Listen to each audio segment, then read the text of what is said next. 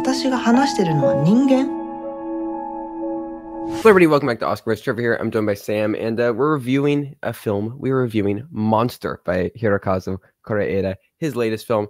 I am a very, very big fan of his work. Uh, Shoplifters, obviously, um, Afterlife, one of my favorites. Um, this is his latest film. So I saw it at uh, Chicago International Film Festival. I think it got a limited run in New York, is where you saw it. Um, and uh, yeah, I I was really honestly kind of blown away by this. Um, I I was disappointed by Broker um, if I'm being honest. Uh, and that was really my first one of Koreeda's works where I came into it already being like it was like a new Koreeda film where I was like a Koreeda fan coming in. Mm. Um, and it didn't work for me as much, but this um just astonishing uh just a fantastic adaptation um uh, like really really amazing really love this one Yeah, no, it was really good. It I like to call Monster good close. Close is bad close. Yes.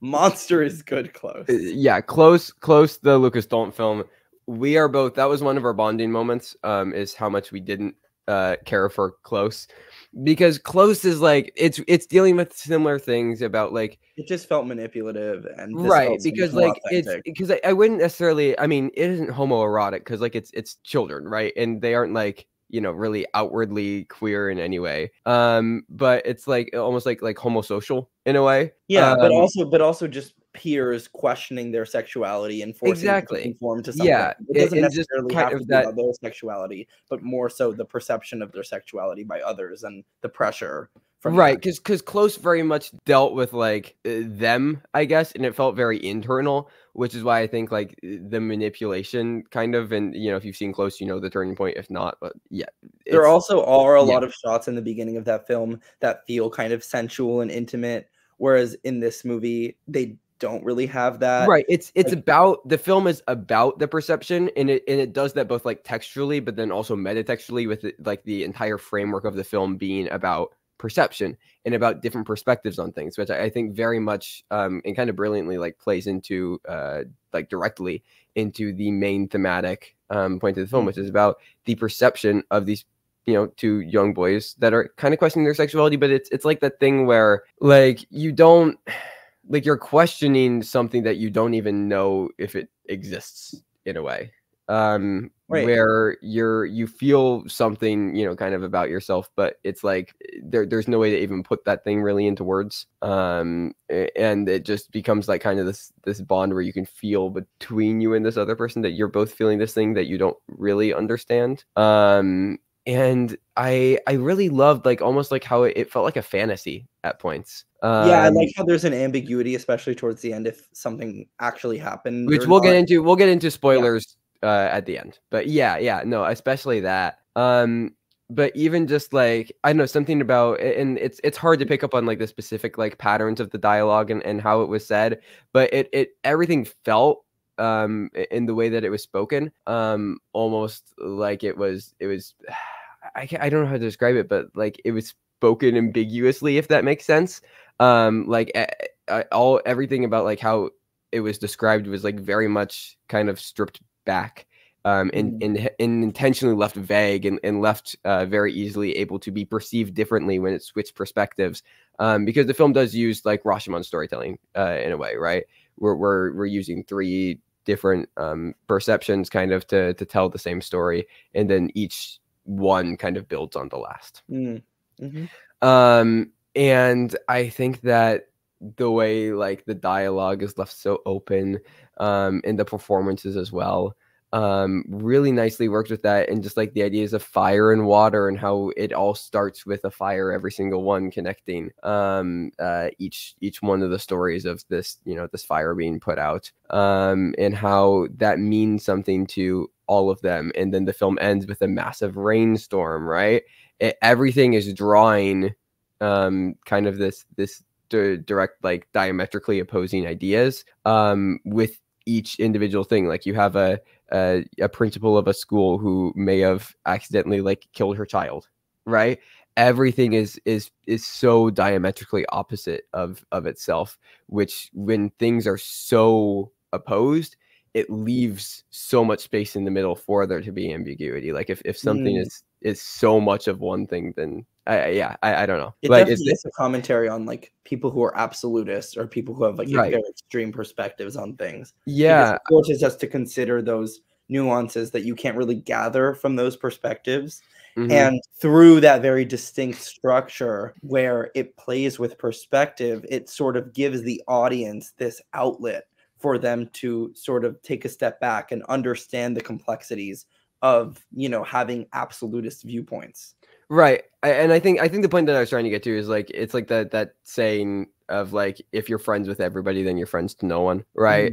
Like eh, and I I don't know. I mean, and I think that very much directly kind of plays into the the sexuality aspect because like uh it was interesting so at chicago i i watched like the award screening of this after it won um their like queer award basically Mm, uh and it was interesting going in with that context because if i didn't know if it was a right. queer film. I, I don't know how I would have read it, which I think is almost in a way kind of outside of the film, playing with the same ideas as it is Yeah. inside of the film, and playing with my perception. It's almost like they didn't watch the movie. They're forcing it to be a part of like the intelligible matrix, but instead, like the movie is so not trying to follow these Yeah. practices. Because you want you want definition. You want you know oh are they queer? Are they not? Right? Yeah, I Uh, mean, and- as and just something in general, like as people, Yeah. I wish we didn't live in a world where this existed. But the first thing that at least me and I know a lot of people when they see someone is what is their gender, how old are they, like right. We what is their immediately place in the sexuality? Like, those are just things that you think of, like whether or not you're criticizing or not. That's just what comes to your head when you see someone Mhm. because it's easy to like put people into boxes and label them to understand who they are. Yeah. And through this movie, it sort of, you know, again, it takes us back. You take a step back, you go back to childhood, a time where that wasn't really what you were thinking about, and says, Yeah. oh, maybe this is actually how we should behave. This is how Right. we should, you know, think of people. This is because how we children don't ourselves. inherently have that like the Right. all these social constructs are learned we we and and it's whether like and it's not learned even in the sense of like you're telling them okay this is what you're supposed to think about the world like it's no like children children are a lot smarter than we give them credit for they perceive things in the world they sense how other people are acting how other people place others into boxes and they begin to emulate because as a child you want validation you want to fit in with what everybody else is doing so you're going to kind of teach yourself all of these social constructs and force yourself into those. And uh, we're, we're going to get into spoilers. So if if you haven't seen the Yeah. film, uh, but quickly, quickly, like also like I don't know why we have to say that like adults are inherently smarter than children. Like maybe they've undergone more of an educa- a traditional like educational Right. you know life. But what if it's just different? Like why does age have to be this sort of measurement of quality when it's just Sure. different? right? I mean, it's it's really different perceptions. And, and to get into spoilers, so yeah, click you know click away, return, whatever if, if you haven't seen the film yet. But uh, the film kind of leaves on a note where did they die? Right?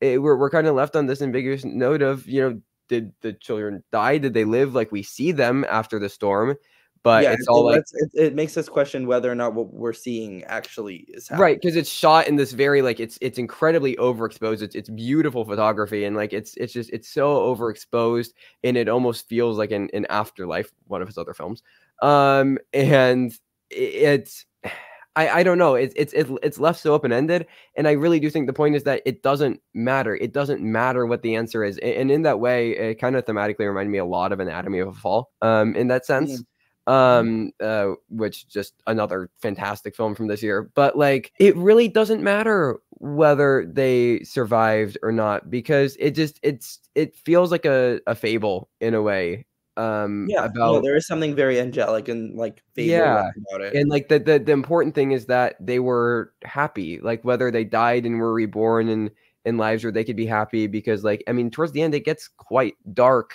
where they like they don't you know they, they begin to kind of like lose faith and they begin to talk about the end of the world and it almost be like the, the massive storm at the end almost feels like they've brought it on themselves in, in, in a way um, which is where again it has this like eerie uh, kind of tone and, and sensibility where it feels like a fantasy film in a sense of like they kind of created this this storm within their own inner self um because like nobody else would reach out to them because there's all these conflicting viewpoints between like the mom and the principal and the teacher and in the end it was just all a misunderstanding because they didn't really listen to the children um who did know kind of the the truth and like the I don't know, just like this this innocence of children of not placing things into boxes, and and I think that's the how the film deals with like sexuality, right? Like sexuality is not definite. Is anybody really straight? Is anybody really gay? Like you know, to do to to qualify people as straight or gay, well then you have to qualify gender as a binary, right? And then okay, well you know, bisexual, pansexual, well, you're open to all people, right? But then are, are we how do you qualify gender? How do you qualify you know what is what does it mean to be male? What does it mean to be female? That changes constantly over time. It is all gender is a tool of personal expression. So then how do you qualify sexuality under that? Like all of these things are, are invented social constructs because it's simply easier to describe ourselves and, and ascribe a label as one thing or another um, because it's it's easier for others in our in ourselves even to understand ourselves and to give ourselves a discernible identity through that. But in the end, it doesn't really matter. We're all just people that are expressing ourselves in slightly different ways. Everybody's sexuality is purely unique to them. Everybody's gender is purely unique to them. Um, because it's just we're just us. Um, and I love the way that the film, through the ideas of perception and playing with multiple different perceptions on on these children and on these events, plays so directly with those very ambiguous ideas. Like our identity is abstract. It is pointless to place labels on it. Mm-hmm.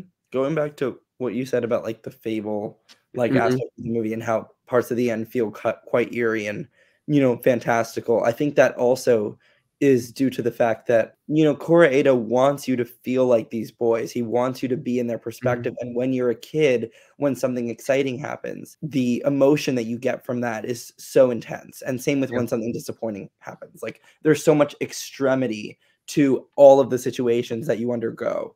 And well now like you look back and you see those events as like they don't really matter like in the context of your life they're not really important the things that you seem to care about your reactions aren't as big and you know nothing of that you know scale is remotely important but by having it sort of told like a fantasy and this sort of fable like narrative it gives you that perspective it you know energizes and enthuses and brings to such a big level Yeah. all of these littler moments that as a kid would matter so much to you Yeah, yeah. I mean, and yeah, I mean, it's it's that really interesting thing of like how our memory functions, right? Mm-hmm. Like we don't choose what we remember. What we what we actually remember in our life, it, it just happens, right? It's like when you laugh. You don't choose to laugh at something. Laughing just happens, and it's and it's we, we can't explain it. It's just something about our own personal experience in life. It just it caused us to laugh at that specific thing. We can't control it. Um, and it's the same thing with memory. We we can't control it. It's something within our mind selects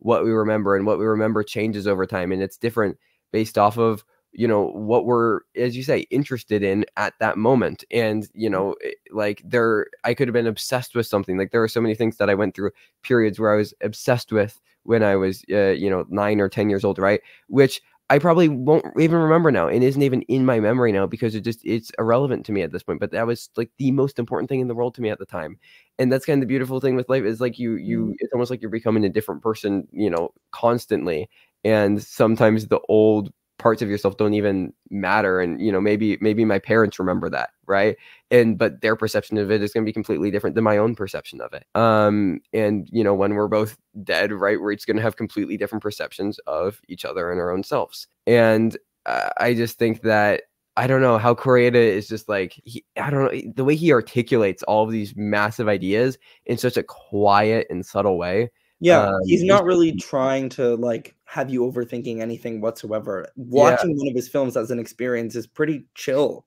yeah it's it's pretty calming and serene but then it, he he gives you the space of if you as an audience member want to engage with it Mhm. it can But take even you to so discussing it, I don't feel intense and extreme. I still Yeah. feel chill and yeah soothed. but it's just it, it encourages so much really really interesting thought i think Yeah. um yeah uh i think that's about all we we have to say Yeah, I mean, watch it. It's it's great. it, it's absolutely brilliant yeah if, you- if you get the chance For to me, see it it got better as it went on, and then the ending really packed a punch. yeah and i think the more you sit with it and the more you talk about it with people Yeah. it's it's only going to grow for For you sure. um yeah really really amazing film uh arbitrary rating i'm gonna give it a nine um absolutely loved it so I'll say eight. Cool, cool, cool. All right. Well, um, uh, I, if you want to know awards, like who the fuck cares? Uh, it didn't get selected for international feature, and that shouldn't stop you from watching it because it's one of the best movies of the year. Um, so seek it out. But those are our thoughts on Monster. We'll have more reviews coming soon. Uh, gonna have stuff for Perfect Days, The Missing, About Dry Grasses, um, lots of other great films that we're gonna highlight towards the end of the year. But until then, thank you for watching. Uh, you can find links in the description to follow us on the social media if that is something you're interested in for whatever reason. Um, but until next time, uh, thank you for watching. Stay safe and goodbye.